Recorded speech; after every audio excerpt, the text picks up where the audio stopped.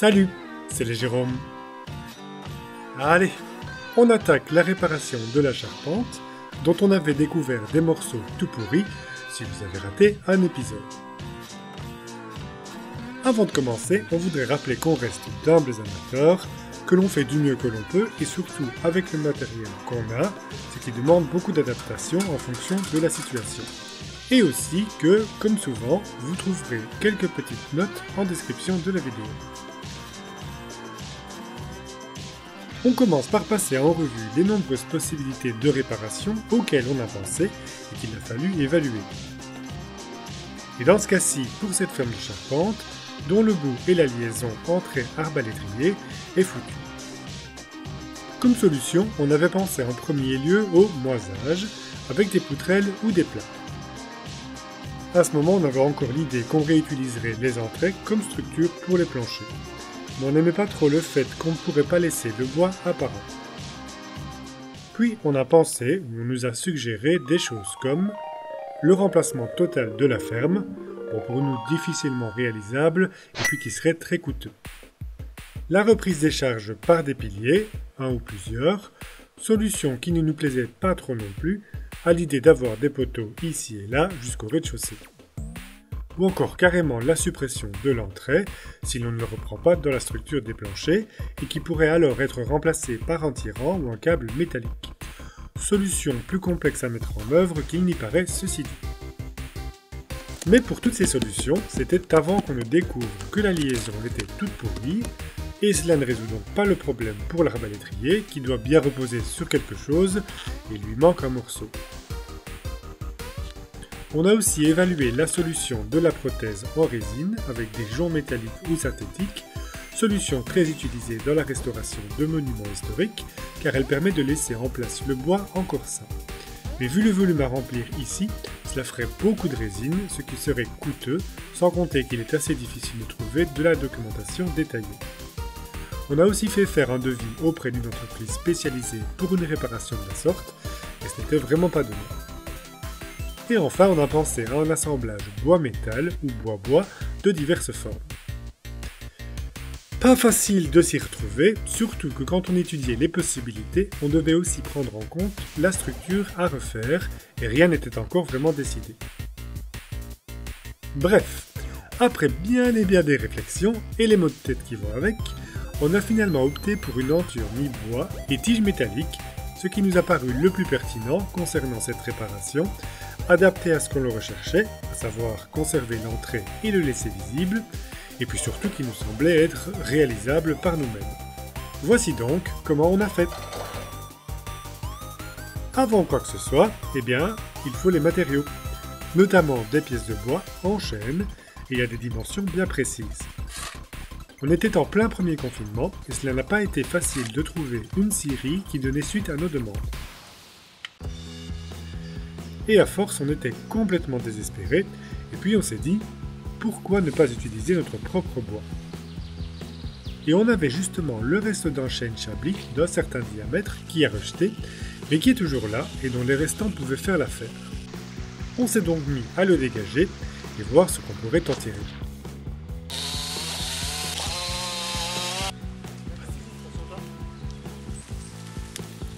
Bon, ben c'était vraiment pas très droit, il y aurait bien moyen, mais ce serait vraiment compliqué. Sans compter qu'on n'a jamais fait d'écarissage de poutres. Et en prime, on découvre qu'il y a des fils barbelés d'une ancienne clôture qui le traversent de part en part, ce qui ne manquerait pas d'endommager les outils. Donc, on a un peu laissé tomber, surtout que, entre-temps, c'est toujours comme ça, une série nous a répondu. On a donc passé notre commande. Et début de l'été, on est allé chercher les pièces.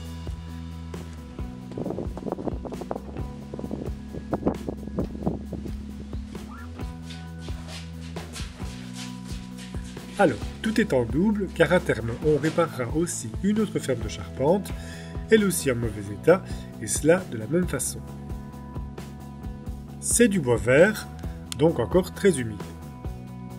Pour la réparation, ce n'est pas un trop gros problème, vu la faible longueur des pièces et le fait qu'il n'y aura quasi aucune charge autre que le bois propre de l'entrée, le fluage sera vraiment minime. Par contre, pour ne pas que le bois ne sèche trop vite, on va passer un peu de graisse sur les bouts. De cette façon, cela réduira les risques de fente ou de déformation trop importantes. Et tant qu'à faire, on en fait de même sur les chutes qui sont tout de même des morceaux intéressants. Et nous revoilà en hiver, après le placement des premières poutrelles, fin prêt à faire la réparation. En premier lieu, on profite d'avoir maintenant un HEA assez proche de la ferme pour étayer la panne fêtière et réduire la charge que doit reprendre la ferme. Comme on l'avait déjà montré, l'entrée a tendance à un peu bouger. C'était acceptable pour les préparatifs et le changement du lato, mais maintenant qu'on va devoir travailler à la découpe du bois in situ et de façon précise, ben ça ne va plus. On va donc l'accrocher avec une planche sur une solive non loin pour pouvoir bloquer tout mouvement latéral de l'entrée. Puis vient le moment des mesures. D'abord, on détermine jusqu'où la nouvelle pièce de bois peut rentrer dans la maçonnerie sur le lateau, en prenant bien sûr une petite marge. Et puis reporter la longueur du bois neuf et ainsi marquer les lignes de coupe. Alors par contre, ici, on a un peu changé nos plans. Comme vous pouvez le voir, on utilise le niveau laser pour déterminer le plan sur lequel reposera le bois alors que notre idée de départ était de faire un assemblage dans le prolongement de l'entrée en prenant en compte sa déformation. Et pour des questions de facilité de coupe et de niveau, on est novice après tout, on a préféré faire des coupes parfaitement horizontales et verticales avec le trait laser pour nous aider. Même si du coup en contrepartie, vous allez le voir, ça change un peu la donne pour un point particulier. Après avoir reporté toutes les marques, c'est prêt, on va pouvoir faire les découpes non sans stress, car on n'a pas le droit à l'erreur. On prend la tronçonneuse, et hop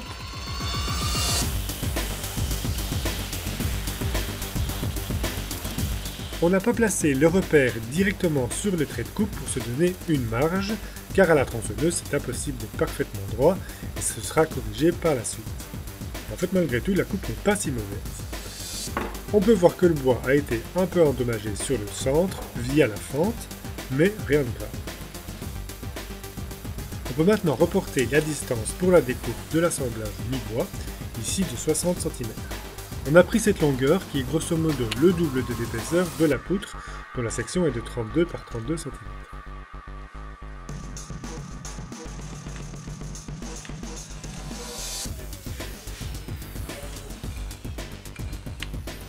On trace bien nos lignes, et puis c'est parti encore une fois, avec un peu d'appréhension, justifié, car d'ailleurs de l'autre côté, on s'est trompé. Vous me voyez ici couper à gauche du trait laser, sauf que de l'autre côté, il aurait fallu couper du côté droit, et non, j'ai coupé du côté gauche, ce qui décale tout de l'épaisseur du trait de coupe. Dans le feu de l'action, on n'a pas non plus pensé à la caméra, on n'a pas d'image de cette erreur. Heureusement, on avait pris un peu de marge, donc on a rattrapé. On coupe ensuite à l'horizontale, ici aussi bien sous le trait pour ne pas mordre sur la zone à conserver.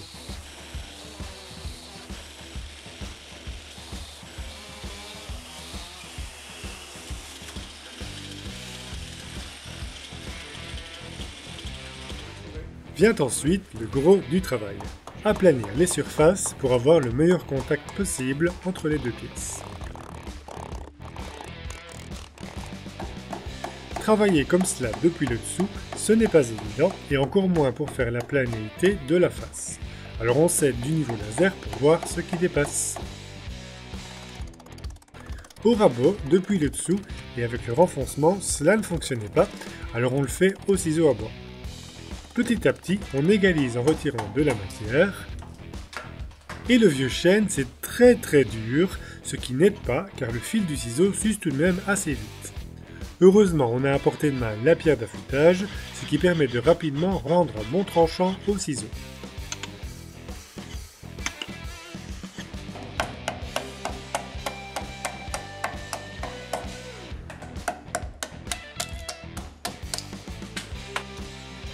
Petit à petit donc, on arrive à quelque chose de bien.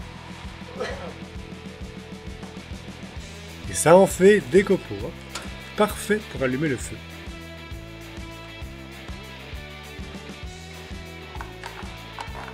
Pour finir, on lisse bien la surface avec le rabot de peau.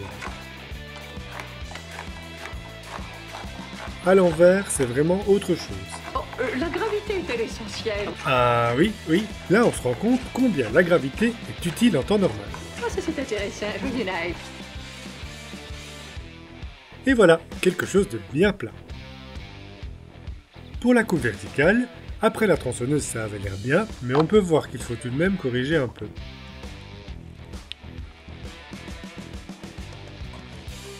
Ici, en bois debout, c'est pire que tout, et la position n'est vraiment pas idéale. Mais il faut ce qu'il faut.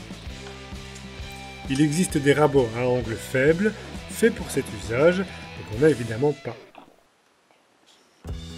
Pour l'autre coupe verticale, même topo, si ce n'est qu'on peut se faciliter un peu la tâche en enlevant déjà le plus gros à la scie pour affiner ensuite au ciseau. Alors voici où cela se complique un peu d'avoir fait les découpes à l'horizontale. Car l'appui sur le linteau, qu'on visualise ici par le trait laser, ne correspond du coup pas au bas de la poutre, qui sera prolongée horizontalement avec l'assemblage. Et il était impossible de remonter encore plus l'entrée, car ça déformerait trop la couverture qui finirait par casser. Il y avait plusieurs façons d'aborder cela, et la solution qu'on a retenue, c'est de réduire l'épaisseur du bois de cette différence sur la partie encastrée, un peu comme le font les solives pour se loger dans les poutres. On aurait aussi pu prendre, au lieu d'un simple HEA 160 comme linteau, plusieurs autres profils plus petits, par exemple 3 HEA 100, mais on s'est vraiment focalisé sur la résistance et charge à reprendre, et non sur la hauteur des éléments, jusqu'à une certaine limite. Ceci dit, dans le cas de plusieurs éléments, il aurait alors fallu les assembler, bref, ça aurait introduit d'autres complexités. Et puis, on est tellement large que niveau charge et structure, même réduit de cette épaisseur, cela reste amplement suffisant.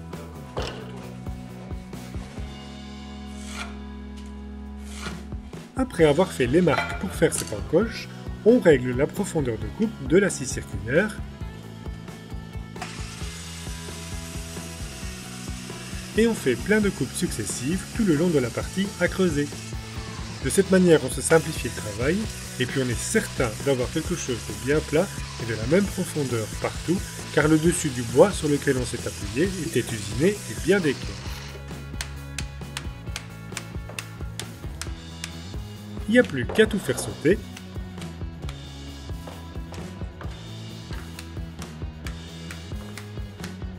Un petit coup de rabot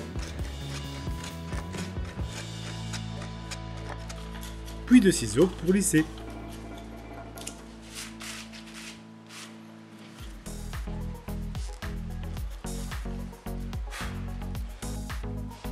Comme on n'aura plus accès à certaines parties une fois mises en place, on procède déjà au traitement de protection du bois sur ces dernières. Et le chêne étant très tannique et la solution très alcaline, ça change la teinte.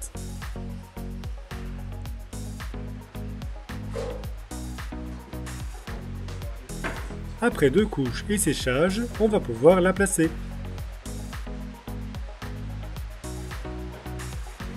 Mais il faut d'abord la lever et c'est lourd. Il faut couper un petit morceau de l'arbalétrier qui va gêner. D'ailleurs maintenant on voit bien le rebouchage ciment-brique qui a été fait. Certainement la poutre devait être visible depuis l'extérieur à un moment.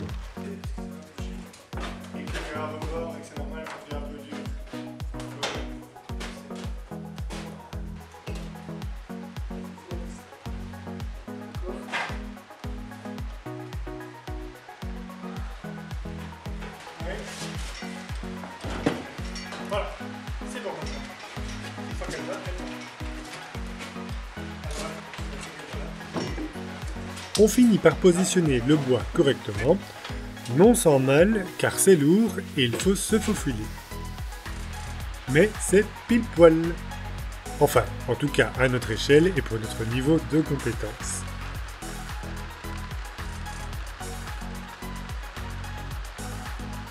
On va donc assembler les deux pièces définitivement et pour cela on va percer des trous pour y passer les boulons.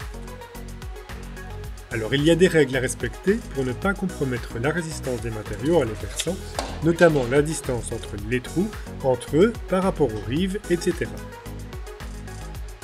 Comme on veut laisser le bois apparent, on fait d'abord un trou avec une fraise d'encastrement à la taille des rondelles, ce qui permettra d'y cacher les têtes des boulons. Quoi? J'en ai plein la gueule.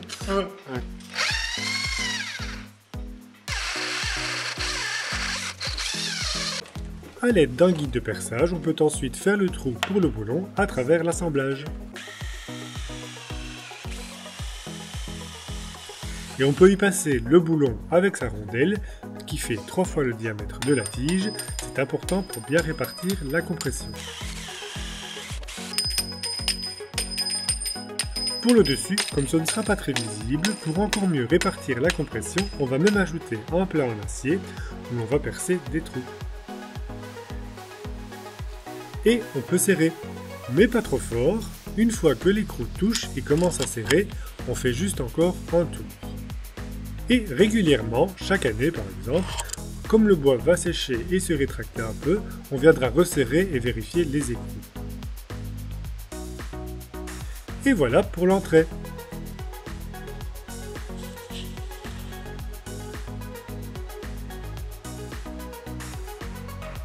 On va maintenant passer à l'arbre à l'étrier.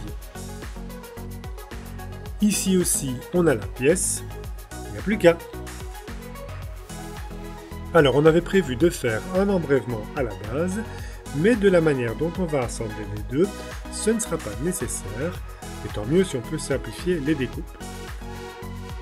En premier lieu, on cherche à déterminer précisément l'angle que fait l'arbre à l'étrier avec l'entrée. On a utilisé le laser aligné avec le bois, mais cela ne semblait pas si précis. Puis on s'est plaqué sur les faces des boiseries, mais le bois de l'arbre est un peu déformé, donc ça dépend de l'endroit où l'on prend la mesure. Et puis finalement, parfois les choses les plus simples, un guide, ici à niveau, bien droit aligné sur le bois, nous donne une moyenne, ce qui sera suffisant. Et en fait, hasard ou pas, c'était exactement l'angle mesuré initialement. 41 degrés et demi. Il faut alors reporter cet angle sur la pièce de réparation. Et l'air de rien, ce n'est vraiment pas facile de bien visualiser et raisonner comme ça, hors contexte, sur le bois. On a dû bien récapituler et réfléchir. Peut-être parce qu'on n'a pas l'habitude. Mais en faisant une projection de la face arrière de l'arbre à l'étrier, on peut voir que cela dépasserait de l'entrée. On va alors faire une coupe verticale pour réduire la longueur, et tant qu'à faire, cela va nous permettre de repousser la ligne de coupe et avoir moins de chute.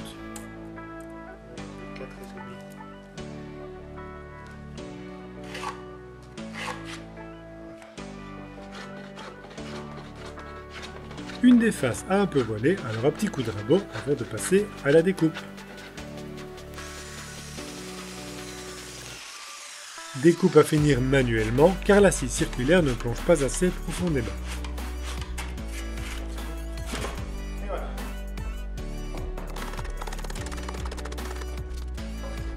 Vu la difficulté d'accès une fois mis en place, on en profite pour déjà faire le rabotage complet du bois car la coupe de scierie est assez brute.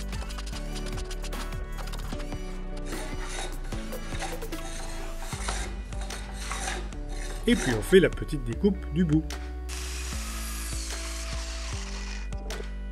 Maintenant, de la même manière que pour l'entrée, il faut découper l'arbre à l'étrier pour que ça puisse s'emboîter parfaitement.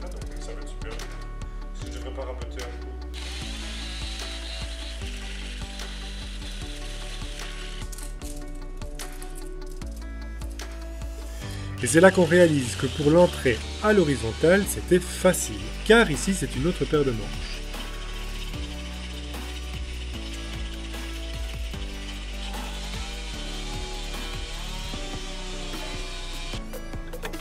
On utilise l'équerre rapporteur pour orienter la face et l'aplanir, avec un accès assez limité et des positions pas très confortables.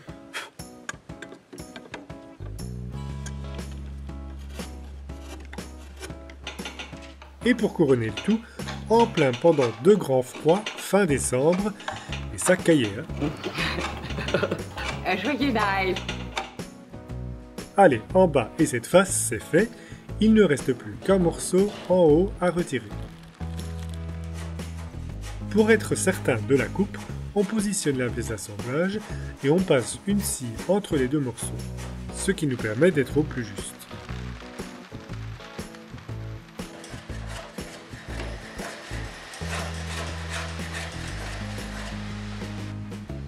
On vérifie l'équerrage et hop, peut assembler.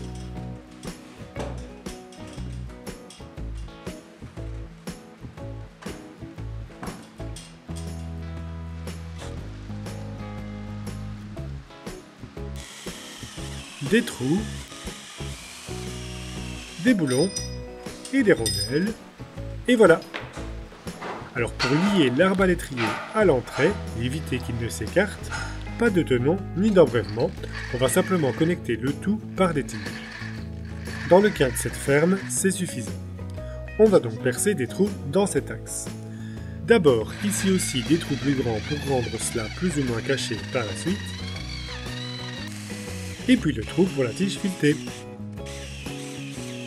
Comme le forêt n'est pas assez long pour tout traverser, on démonte l'assemblage pour terminer les trous au sol. Ce qui nous permet également, maintenant que tout est prêt, d'aussi procéder au traitement du bois avant le placement définitif.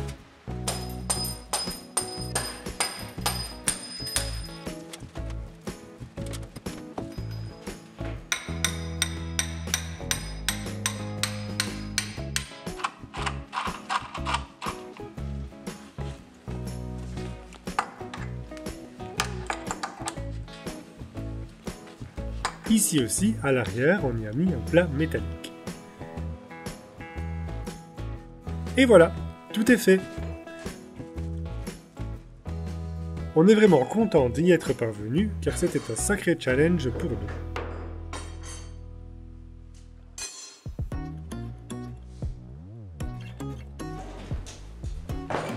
On peut maintenant retirer tous les étais, élingues et sangles qui stabilisaient tout ça et qui était là depuis tellement longtemps qu'on avait presque oublié que cela ne faisait pas partie du décor.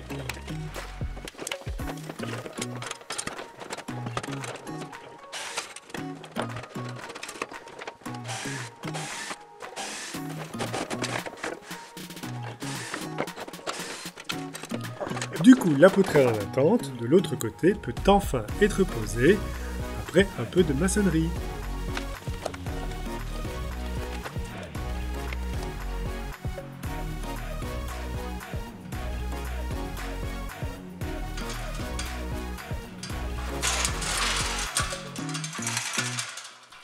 Et puis sur les côtés de la ferme, on peut également remonter le dessus du mur. Et voilà